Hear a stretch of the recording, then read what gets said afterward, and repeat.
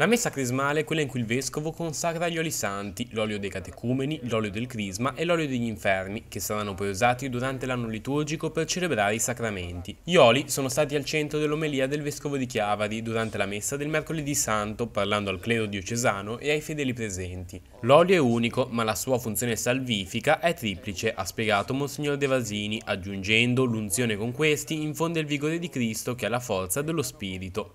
Si è quindi soffermato sulle diverse funzioni. L'olio dei catecumeni, quello usato nel battesimo, rappresenta la misericordia che è donata ai battezzati. La misericordia non è un facile condono, non è una cosmesi del male, ma un balsamo per la lotta, per vivere la vita in modo agonistico, militante combattivo contro il male.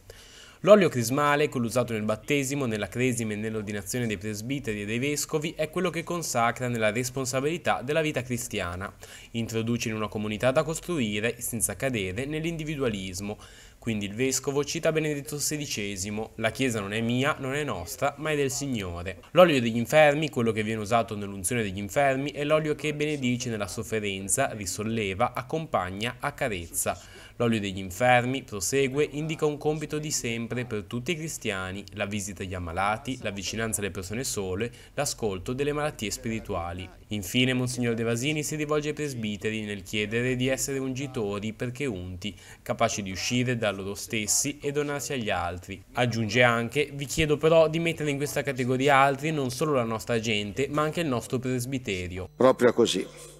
Impariamo ad ungerci a vicenda con l'olio della comprensione, del dialogo, del perdono, superando individualismi e frantumando ogni barriera derivante da tanti pregiudizi. Poi ai fedeli presenti l'augurio a vivere il tempo pasquale con la voglia di imparare di chi desidera scoprire il segreto della pace, il sentiero della salvezza.